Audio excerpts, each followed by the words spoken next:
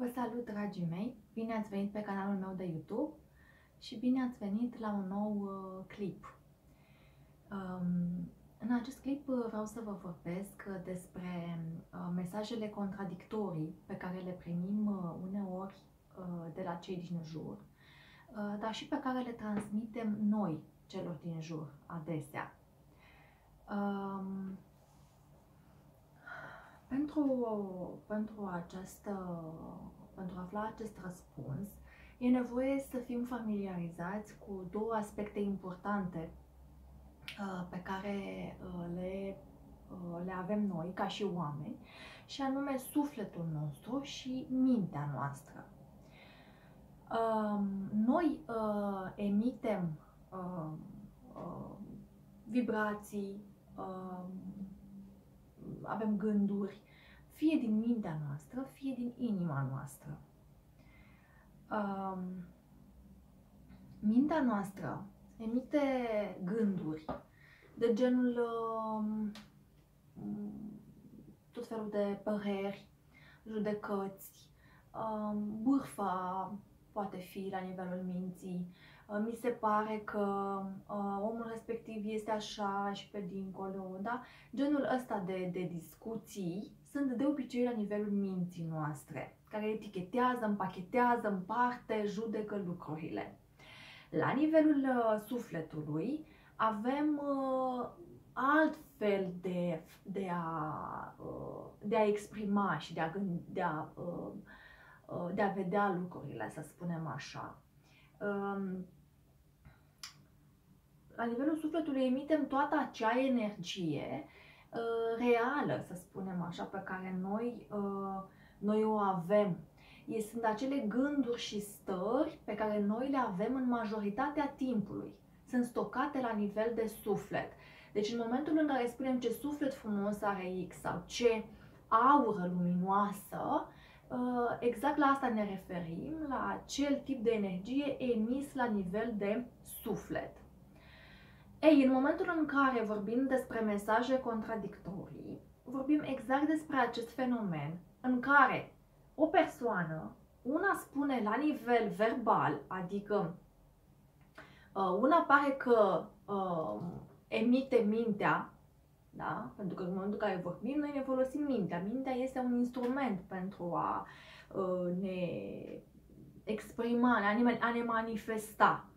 Numai că mintea trebuie să fie folosită în slujba sufletului. Când nu este folosită în slujba sufletului, atunci când nu este folosită, atunci rămâne la nivelul la care este ea, al minții, și la nivelul gândurilor care pot fi emise pe acea, pe acea cale. Adică păreri, judecăți și așa mai departe. Da? Um, dacă rămâne pe acest nivel, atunci se cheamă că numim uh, că primim mesaje contradictorii. De exemplu, cineva ne poate spune că ne iubește, adică verbal exprimă aceste lucruri, dar noi, la nivel de suflet, nu simțim, nu primim acea energie a iubirii. Da? Sau exact se poate întâmpla invers, cineva poate spune, poate în cazuri mai rare, dar uh, există și această posibilitate, cineva să spună că ne poate, că ne, um, ne urăște, nu ne simpatizează, sau chiar să spună, să ne lase, să, să fim lăsați în pace, să cerem să fim să lăsați în pace sau persoana respectivă să ne ceară să, ne, să o lăsăm în pace, uh, dar la nivel de energie de sufletească, să simțim că e un fel de iubire întoarsă. Adică ne place atât de mult sau ne uh, uh, are o afecțiune atât de mare pentru noi, însă ceva din minte a făcut-o să, să, um, să ne respingă, poate un anumit mecanism defensiv care s-a activat în momentul întâlnirii cu noi, uh, în acea persoană și atunci, la nivel de, uh, uh, de suflet, noi simțim ce are persoana respectivă pentru noi, dar noi primim uh, mesajul minții da? Care este uh, celălalt. Deci mesaje contradictorii primim de la acea persoană. Adică, într-un fel ne spune că ne, nu vrea să mai aibă nimic de a face cu noi, dar noi de fapt primim iubire sau uh, oricum uh, simțim o energie puternică acolo, da? că este o, este o afecțiune. Sigur, există multe cazuri când uh, putem să simțim uh, uh, ca o lovitură așa în piept a energia unor cuvinte, uh, să spunem, mai puțin plăcute.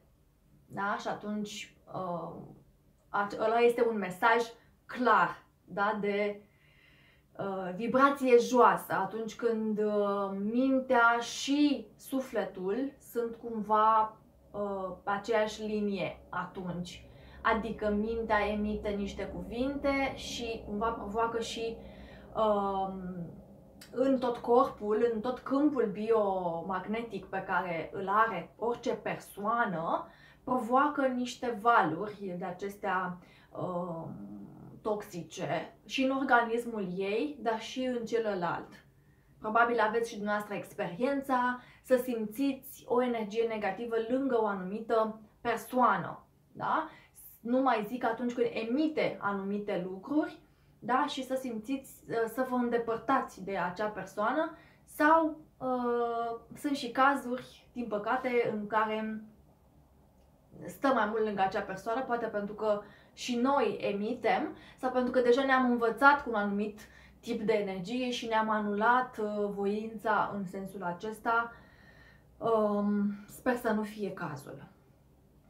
Asta am vrut să vă spun despre mesajele contradictorii. Dacă vi s-a întâmplat sau dacă aveți alte nelămuriri, vă aștept cu drag cu întrebări aici, pe canalul meu de YouTube sau pe Facebook. Vă mulțumesc mult!